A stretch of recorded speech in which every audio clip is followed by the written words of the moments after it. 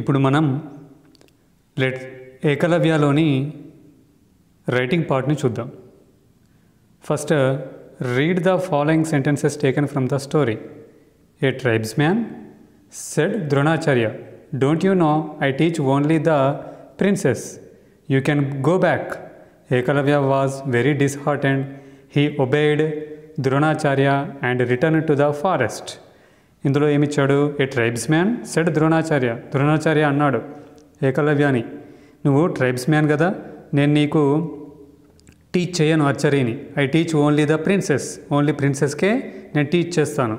You can go back నువ్వు వెళ్ళవచ్చు అని చెప్పాడు. అప్పుడు అతను ఏకలవ్య ఏం చేశాడు? ద్రోణాచార్య చెప్పినట్టుగానే వెనుదిరిగాడు what would Ekalavya be thinking at that time write his thoughts below అలా తిరిగి వస్తున్నప్పుడు what would Ekalavya be thinking అతను ఏమి ఆలోచిస్తూ వెనుకకు వెళ్తున్నాడు? రైట్ హిస్ థాట్స్ బిలో అతని ఆలోచనలు అతని ఆలోచనలు ఏమై ఉంటాయి? వాటిని రాయండి అని అంటున్నాడు. It would be it would be it would have been it would have been nice if Dronacharya if Dronacharya had uh, accepted me accepted me as his student as his student and uh, taught and taught me archery It would have been nice if Dronacharya had accepted me as his student and taught me archery. నన్ను ద్రోణాచార్యుడు తన స్టూడెంట్గా అంగీకరించి నాకు అర్చరీని బోధిస్తే బాగుండేది అని అనుకుంటూ ఉంటాడు. ఇంకేమనుకుంటాడు? I will I will definitely I will definitely అంటే ఖచ్చితంగా నేను లెర్న్ నేర్చుకుంటాను. I will definitely learn archery I will definitely learn archery నేను ఖచ్చితంగా అర్చరీ నేర్చుకుంటాను. ఇంకేమనుకుంటాడు?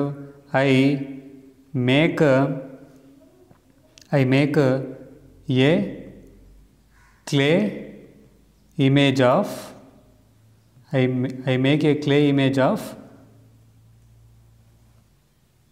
guru and and practise. నేను గురువుగారి నేను గురువుగారి క్లెయిమేజ్ని చేసి ప్రాక్టీస్ చేస్తాను ఆర్చరీని and practise archery day and night. Day and night. Day and night in front of the in front of the in front of the image ఆ image ముందర నేను డే అండ్ నైట్ ప్రాక్టీస్ చేస్తాను. And ఇంకేమనుకుంటాడు? I feel I feel నేను అనుకుంటాను. ఏమని? Dronacharya I feel Dronacharya is teaching me is teaching me archery directly నేను నాకు ద్రోణాచార్యుడు డైరెక్ట్గా టీచ్ చేసినట్టే నేను అనుకుంటాను.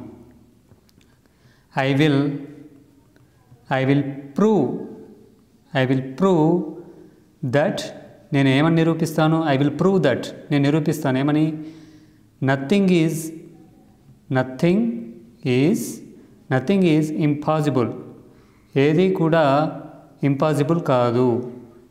If there is if there is perseverance perseverance అంటే పట్టుదల.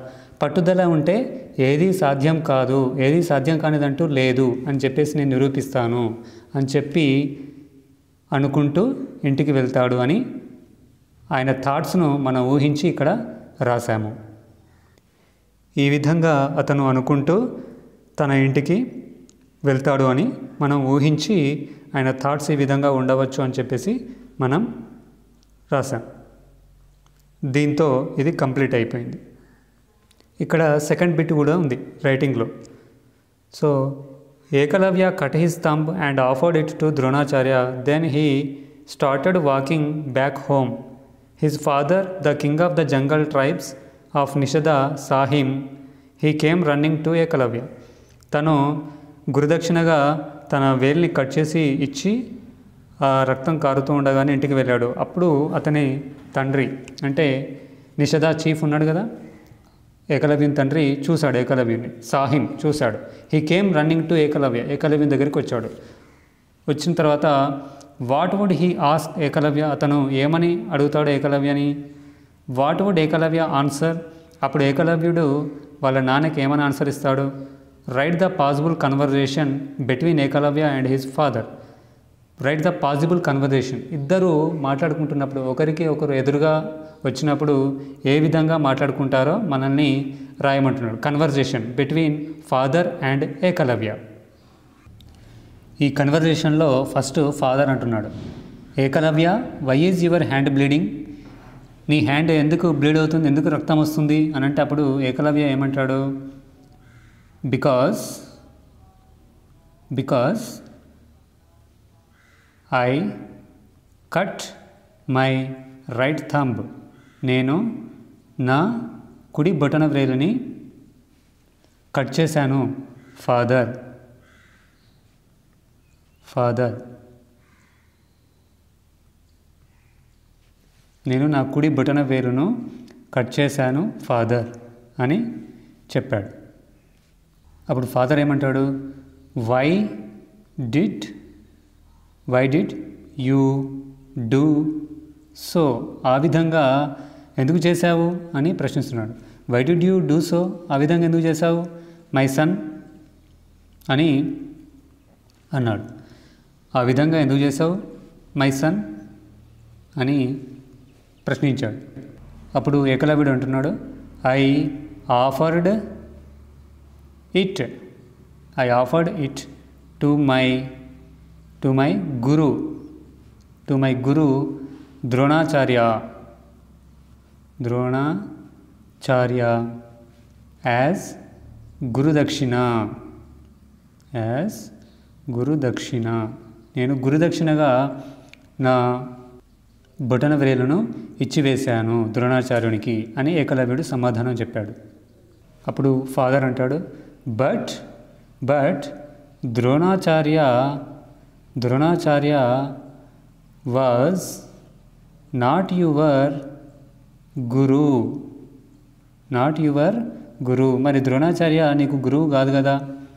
He did not he did not teach he did not teach archery. He did not teach archery. Directly. నీకు డైరెక్ట్గా చెప్పలేదు కదా ఆయన నీ గురువు కాదు కదా. He did not teach archery directly నీకు డైరెక్ట్గా చెప్పలేదు కదా అని అన్నాడు. అప్పుడు ఏకలవిడు అంటాడు బట్ ఫాదర్ కానీ father but father I but father by the grace by the grace of the guru by the grace of the guru only by the grace of the guru only I was able to I was able to learn archery నేను గురువుగారి యొక్క కృప వల్లనే archery నేర్చుకోగలిగాను. By the grace of the guru గురువు యొక్క కృప. Grace అంటే కృప. I was able to learn archery గురువుగారి కృప వల్లనే నేర్చుకోగలిగాను. అప్పుడు ఫాదర్ అంటాడు హో my son oh my son oh my son how do you how do you shoot arrows how do you shoot arrows now నీవిప్పుడు ఏ విధంగా బాణాలు వేయగలవు? How do you shoot arrows now ఏ విధంగా వేస్తావు? అప్పుడు ఏకలవ్యుడు అంటాడు don't don't worry don't worry my father ఏమీ బాధపడకు father I will I will practice I will practice with I will practice with my left hand నా లెఫ్ట్ హ్యాండ్ ఉందిగా father నేను దాంతో అర్చరీని ప్రాక్టీస్ చేస్తాను అని చెప్పి అన్నాడు. అప్పుడు ఫాదర్ అంటున్నాడు it's okay my son. It's okay my son. I want I want that I want that grace of grace of God grace of God to always to always be to always be with you ఆ దేవుని కృప ఎల్లప్పుడూ నీ మీద ఉండాలని కోరుకుంటున్నాను. ఆ దేవుని దయ నీ మీద ఉండాలని కోరుకుంటున్నాను అని చెప్పేసి చెప్పాడు. చిల్డ్రన్ ఈ విధంగా మనము ఈ ఫాదర్ అండ్ ఏకలవ్య మధ్యలో ఉన్నటువంటి కన్వర్జేషన్ని కంప్లీట్ చేశాము. ఇక్కడ ఇంకేమైనా మీకు ఏకలవ్య అండ్ ఫాదర్ బ్లాంక్స్ లేకపోతే మీరే లైన్స్ కొట్టుకొని యాడ్ చేసుకోండి దానికి. ఓకేనా చిల్డ్రన్? అది కంప్లీట్ చేసి నోట్బుక్లో రాసి ప్రాక్టీస్ చేయండి. చిల్డ్రన్ ఇక్కడ ఒక ఈజీ ఎక్సర్సైజ్ ఉంది చూడండి. ఇక్కడ ఒక టేబుల్ ఇచ్చాడు అందులో add R E R O R R E R to fill in the missing letters and read them ఇక్కడ టూ బ్లాంక్స్ ఇచ్చాడు ప్రతి వర్డ్కి ఇందులో ఈ ఫస్ట్ ఈ ఫస్ట్ దా- ఫస్ట్ కాలంలో అన్నింటికి ఓఆర్ రాయాలి. సపోజ్ నేను రాసాను చూడండి ఫస్ట్ దానికి ఈఎంపిఈఆర్ ఆల్రెడీ ఉంది అక్కడ. నేను రాసింది ఓఆర్ అని రాశాను. ఓఆర్ అని రాస్తే మొత్తం కలిపి ఏమైంది? ఎంపరర్ ఎంపరర్ అవుతుంది. అదేవిధంగా ఇక్కడ కూడా ఫస్ట్ దానికి డబ్ల్యూఐఎన్టీ అని అక్కడే ఉంది. నేను ఈఆర్ అని రాశాను. ఓ ఈఆర్ అని రాశాను. వింటర్ ఏమవుతుంది? వింటర్. సో అదేవిధంగా మీరు ఏం చేస్తారంటే ఇక్కడ ఉన్నటువంటి అన్నింటికి ఓఆర్ యాడ్ చేయండి. ఇక్కడ ఉన్నటువంటి అన్ని వర్డ్స్కి ఈఆర్ యాడ్ చేయండి. అప్పుడు ఏం వర్డ్స్ అవుతున్నాయో మీకు అర్థమవుతుంది. వాటిని రీడ్ చేయండి.